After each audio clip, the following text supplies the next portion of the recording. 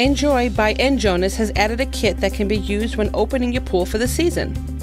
You will want to add the two bags of Zappit, which is 73% Cal Hypo, the entire bottle of stain and scale preventer, and the bottle of Algaecide 30. Let the pool pump circulate the water for at least 24 hours. At this time, it would be a good thing to bring a water sample to your local pool professional in order to analyze water chemistry and add additional chemicals based on results.